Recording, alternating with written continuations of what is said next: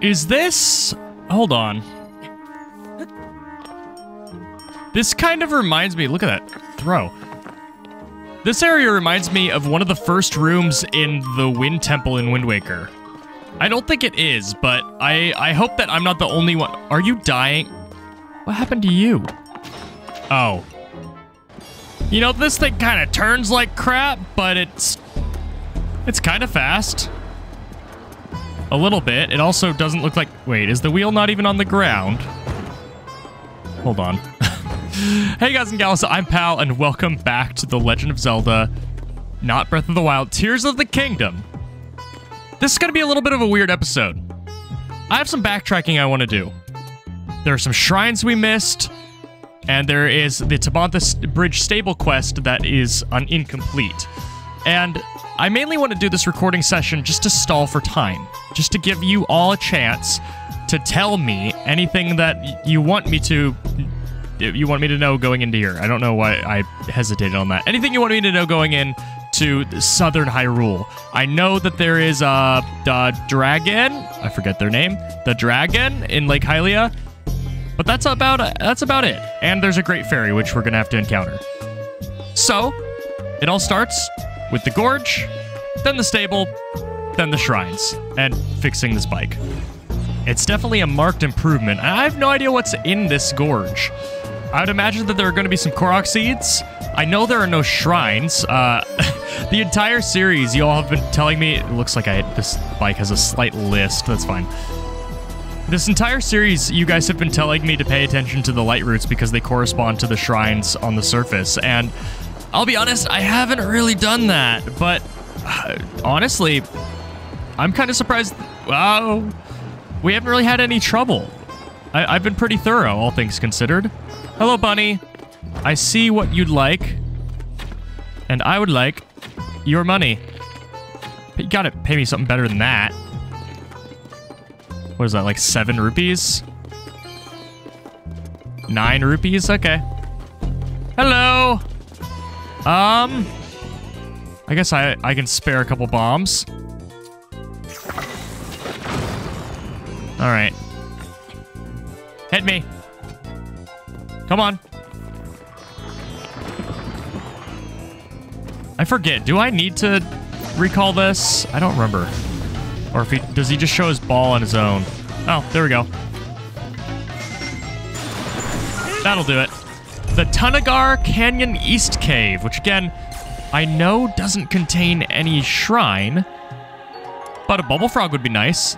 That's a good shield. That's a really, is that the best shield we've seen so far? Strangely enough, I'm going to drop the icy meat shield because I, I have a lot of meat now. That's not a problem anymore. Oh, oh, a Stalnox. Okay. I'm prepared to fight a Stalnox, I think. Uh... Huh. Yeah, this is definitely a Stalnox.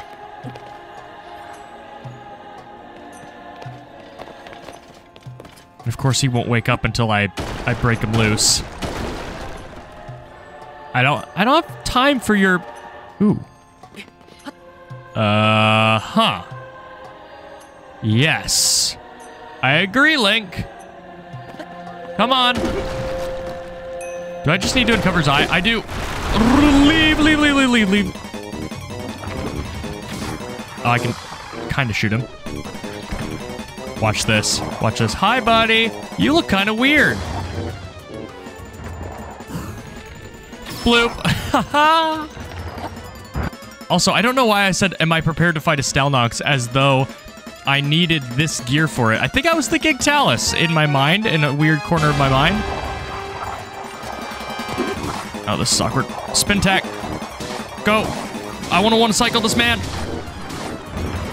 Mm, that's not the way to do it. Whoa. That was close. I forgot they live. That was so close. Die. And... Got him. that was a that was a fun fight to start off a recording session. Got the rust off with some nice weapons and nothing else. No no frog. I feel like this area should have a frog. Also, it's amazing that I'm passing up on a Royal Halberd. I love Royal Halberds. I really like the, the reach weapons in this game. They're kind of my jam. I just keep defaulting to them. I mean, I know... I know that they were... That's where I came in. Ah! Stars above. Stars above. Ace Ventura strikes again. I knew it. They wouldn't just put a, a thing in here, a, a Stalnox for no reason. That's That would be a Breath of the Wild maneuver, you see. A Tears of the Kingdom maneuver is rewarding us after the boss fight. Don't hear a Bubble Frog. But it looks like we have more mining to do. Um. Okay. These are some wacky looking ruins, and it's this is a, this is a fork in yeah this is a fork in the path. Okay. Here we go. Bubble frog. I can make that shot. Never mind. Uh, you know what? Before he before he does his malarkey, got him. Got him. It's rare that I use a plane, but I just didn't have the patience to go look for a wing. And this, yeah, this is a fork. These are different destinations. So there's one more, one more wing of this cave. I'm not sure if I can show that on YouTube, guys. Uh, can I kill two with one arrow? Oh, yeah! That works! That was awesome. I didn't know that was possible.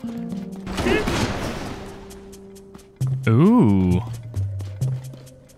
A truffle and a chest to go along with the. How many truffles do we have? 19? We're almost to the point where they're. I'm going to start using them. It's cool that I have that hindsight to to know that I need to save them, or foresight rather. Okay, how many of those do we have? 12? Wow. I I need to start using some some more firepower. I think. One of the difficult parts about this game is that the draw distance is so short that you can't you can't always discover, you can't rely on your eyes to help you discover things. Like, I can't get up on top of a cliff face or in the air and, and go on, like, a scouting mission or use my peepers. Uh, that... That is something. What is that? Hopefully my bike doesn't despawn. Is it? Oh, it's just a Korok. Okay. All right. Yeah, all too often stuff only spawns when you're right on top of it. In fact, uh, did I mark this? I noticed this in between recording session, or well, in post, actually. This gate, for just a split second, if I remember to edit it in, I will show you. For just a split second, there is a person at the bottom of the screen over here, and I never talk to them. They're probably just Yiga, but that doesn't mean that I don't want to talk to them. Man, that's pretty. Another thing I haven't really discussed, mainly because I've been waiting to go to Necluda, because that's really going to prove my point, but with nothing else going on, and I might cut this out anyway, I'll talk about this now. The shading and and lighting of Tears of the Kingdom compared to Breath of the Wild is... Uh, it, it could not... They could not be further apart. The two are so different. This game constantly, constantly looks beautiful. And while there is fog, denoting, you know, draw distance, there isn't... Hold on. Is that a Blupee? It is. Uh, yeah, let's grab that first. Denoting draw distance, it's it's like a good color where it's a far on. It's a far cry from the urine steam, the pee steam that was Breath of the Wild's fog. And I frequently color had to color correct episodes. Okay, where are you going? I actually don't see. Okay. Give me your money. Mm, a little bit more. Yeah. It may not look like much, but those rupees will add up. Believe you me. You know... Oh, oh, oh, hold on. I wasn't startled this time. I know to adapt. No! No, you don't. No, you don't. I need you. Go! Perfect. It's such a good reward. Look at all the eyeballs and the wings. I'm exchanging one elemental wing for a bunch of eyeballs, and I honestly really like the eyeballs. They make they make making trick shots so much easier. Like you can just shoot around corners, around the bubble frogs, uh, from behind cover. It's just something that, yeah, good accuracy does, you know, make them a little bit worse. But I don't personally, I don't really think that's what they're for, helping you aim. Are we going to deal with Gibdos in here? No. Stone Talus, though. Get out of here.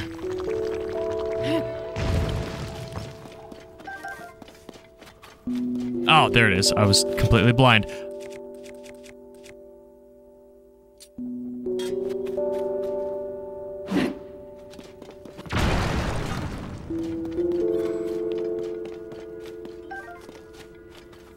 Okay, what's in here? I'm, I'm starting to get some Gerudo vibes. We might be encountering Gibdos. Don't hit me. Don't hit me.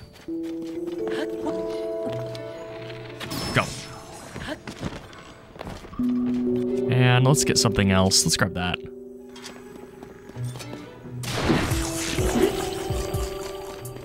Okay, bombs won't clear won't clear this obstacle. This is I don't know, I'm getting a different vibe here. This seems like um a Misko's treasure type cave.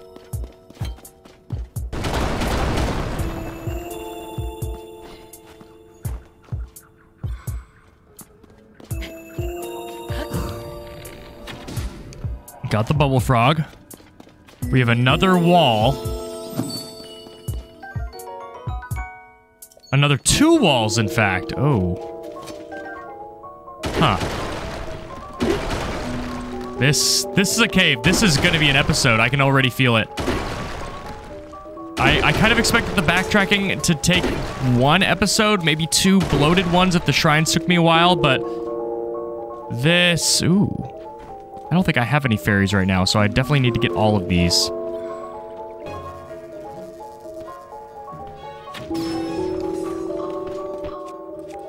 Quickly. Come on. Okay, he's dead. Now he's just gonna have a chest, or a... Oh, feathered spear. Okay, I guess I needed that. Will you break rock if I throw you? Nope. Finally broke through. Whoa! Oh! Wow, I would have looked for that forever. Also, that's really cool that this entire time I'm not expecting a shrine, and lo and behold, this leads to a shrine. Cool. That that really makes this feel a lot more important. Okay, before I... Uh, I guess I still need to explore this. So, yeah, let's do the shrine. That'll, that, it'll shake things up a little bit. One of the two shrines I would like to complete this short recording session, the Iun-orok Shrine. And the Tabantha front. Oh, it's a Tabantha shrine, technically. That's neat.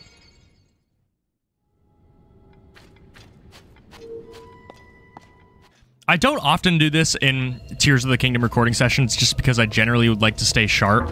But in a, a short recording session like this, uh, I am making, I'm taking advantage of, hold on. I'm taking advantage of a trick I picked up in the, the Pikmin 3 Let's Play, or 4 Let's Play, sorry. Um, and it's having a having a drink to accompany me, accompany me. It's my commentary buddy. So this is technically a co-commentated episode. It is the serious pal that would like to critique game design and is an aspiring game designer and an actual game designer, if Pirate Software is to be believed. Uh, and then the Goon, which is honestly half of me when I am completely sober. I mean, I'm I'm not actually drinking a lot, but my commentary. Ooh, hold on. Does this work? I don't know if this works. This should work, right? Yeah, yeah, yeah, yeah, yeah.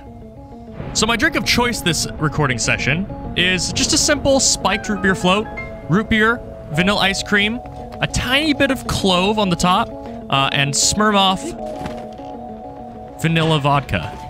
And it is insanely refreshing. It's honestly the only reason why I have sugar, or the only excuse I find to, to have sugar is in alcohol and I guess some caffeinated drinks whenever I go to like a coffee stand. What? Huh. Okay, I've played Super Monkey Ball. I think we, what we need to do is link these together. I also just saw the the chest, so I'll grab that. I think I can use these as the weirdest ramp in the world. That should work, right? Yeah. Well, it'll work with a little help from my good old friend. Ooh. The wing shield. It's amazing what just a slight increase in jump height can can do, what it can enable. Let's see. I've played Super Monkey Ball. Super Monkey Ball is such an underrated series, and it's weird. Has any have any of you played Super Monkey Ball in recent times? Because they still come out with games, so they're obviously like somewhat still successful. But since they changed the art style, I just haven't been super into it. That works, right? Oh, whoa, whoa, hold on. I don't want to set that entire thing up again.